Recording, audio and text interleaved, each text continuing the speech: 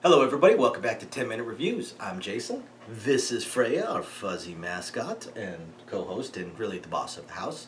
Please don't forget to hit those like and subscribe buttons. We've got a ton of things coming out for you guys all the time. So today I want to delve back in. I'm getting away from fantasy for today's episode and I want to go back into science fiction. Instead of talking about an individual book, yes, don't tell me no, Missy.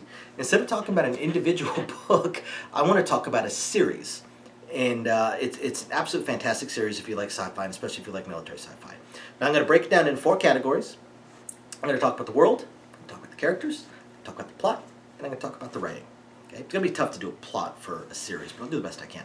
So the world is, well, ours. Just a far future. We've reached the point now, humanity has reached the point now where we're out in the stars. We've got multiple planets, we've got multiple kingdoms, although there is one main um, government that's kind of, that controls the majority of, of the planets.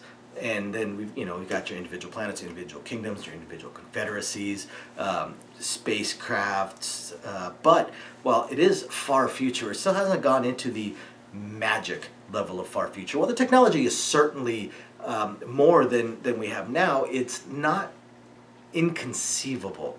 Um, aside from things like faster than light travel and stuff like that, but but you know they still use guns, they still use knives. You know they're you know the the the you know the highest end you get to cyborgs, um, which there's a couple different ones. Very very very fascinating how he does it.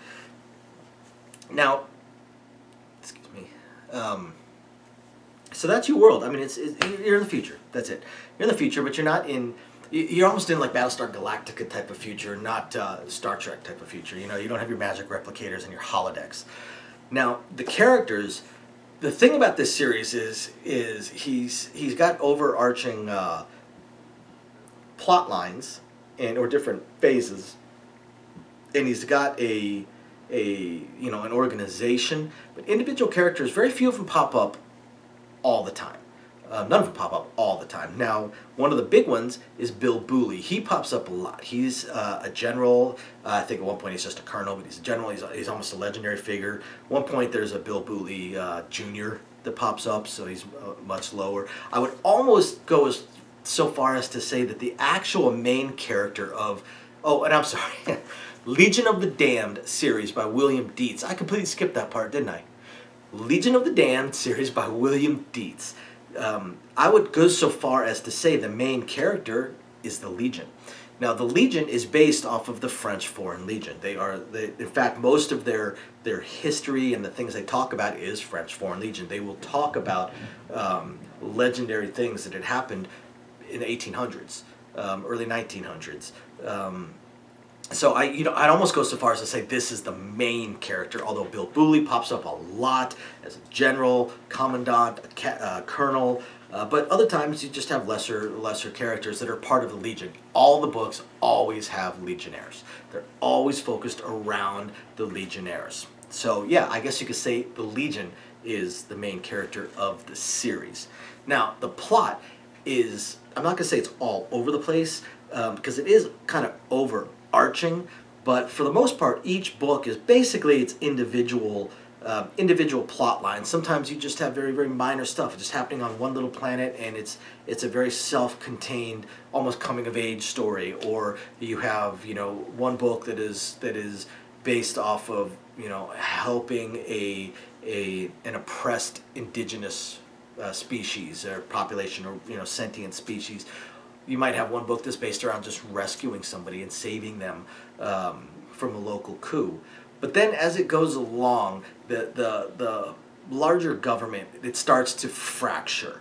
And that's where, where you kind of get somewhat of an overarching plot. The most recent books, the last like three or four I read, pretty much based around the, the, the unified government crumbling and and the issues that happen there and the dangers and how these legionnaires sometimes have to you know trying to save somebody they have to you know get a save a president or a princess and get them off the planet and, and while they're being pursued by other military um, the legion is is not splintered. The legion is very very uh, uh, loyal to itself. So again that's why I say the legion itself might be the main character of the entire series I mean it is called the legion of the damned um, but uh, um, you know, but they're spread around.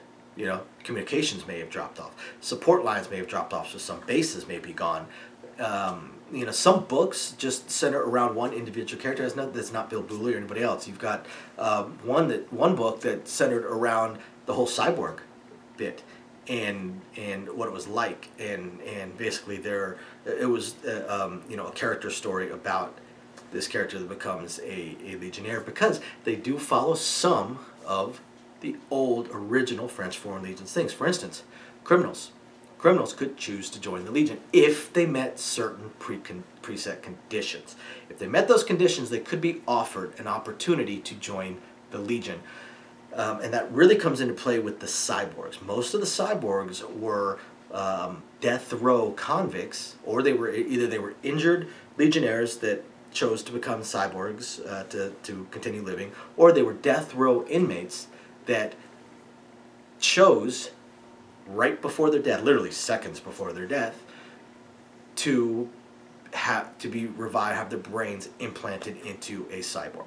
So there's one book that's just based entirely around that, talks about that. Some of these cyborgs are really cool. Some of them are like like like AT-AT Walker size, uh, you know, walking tanks and troop carriers, but they're actually cyborgs. I mean, they're they're pretty cool. Obviously, the cyborgs are like the, what do we call them? Heavy infantry. They're almost like the tanks of the Legion in a way. Uh, so yeah, the plot, I mean, it, it expands many different things. Every book has been absolutely fascinating. As far as the writing goes, William Dietz writes very, very, very good within that niche. I've never net, never read anything else that he's written. I don't even know if he's written anything else. I know I've looked, uh, but I'm not even sure if he's written anything else. But I don't recall reading anything else of his other than the Legion of the Damned series, which I've got about 15 of them sitting on various bookshelves around the house. Um, so yeah, if you like military science fiction and you haven't checked out William Dietz and and the Legion of the Damned series, you have to check it out. It's absolutely fascinating. You would absolutely love it. Thank you everybody for watching. Don't forget to hit those like and subscribe buttons. We'll catch you next time. Bye now.